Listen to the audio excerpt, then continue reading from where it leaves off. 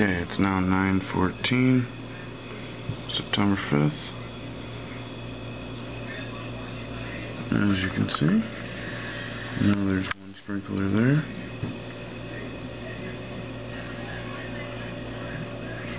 A sprinkler there. In this tree. Then there's another sprinkler in this tree. Then there's yet another sprinkler right here. All watering broad daylight, saturating the lawn. This is our biggest concern. Every time we try and mow it, something happens. It's 9:15 September 5th and still for over 15 minutes, just in this one section, these sprinklers have been going off.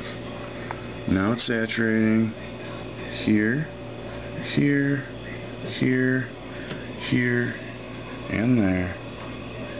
And you can clearly see it's just ridiculous. And the more sprayers that go off at once, the less pressure there is to spray around. As you can see, this is fully covering all over the place and just yeah, it's just going to do so much damage to the lawn. Just so this is documented though. Again, it's September 5th, 9.16 a.m. Sprinklers are still flooding the lawn. Now in broad daylight, as you can see, it's already ruined and barbecued where it's been spraying. So this is just proof of what we've been saying that we have no control over the sprinklers and the time goes off um, when they wish basically we can go out if they would show us and there's a little switch right there on a timer and everything we could set it so we can mow around it and the grass can be maintained. But this looks like it is pretty on purpose now since they gave us a schedule after one court date that said it was in the mornings, not this late, even close. It's well over two hours past when they said this lawn would be mowed. We don't even have a notice that it would change or anything. It's now 9:17,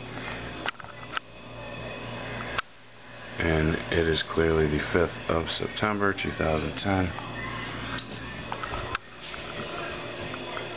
As you can see in the wall clock, 9:17 yet still water being sprayed. Just absolutely ridiculous because you can see all the burn marks from it.